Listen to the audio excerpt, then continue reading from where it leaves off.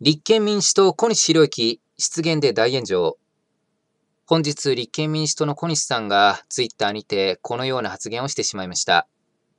軍事クーデターどころか普通選挙で選ばれただけの権力になびいて、安倍総理、菅総理の憲法違反などを支え続ける内閣法制局長官らは恥を知るべきだとなっておりまして、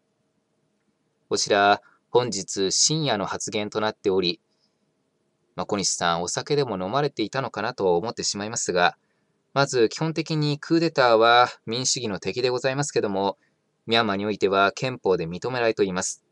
また、普通選挙は民主主義の基本となり、この小西さんの失言、民主主義や有権者、国民に対する挑戦、誹謗中傷になってしまっております。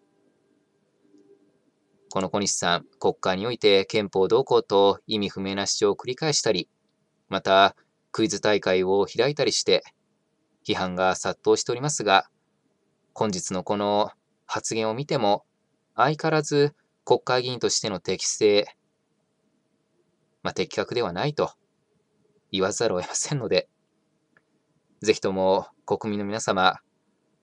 今後行われるすべての選挙では、立憲民主党には小西博之さんには絶対に投票しないように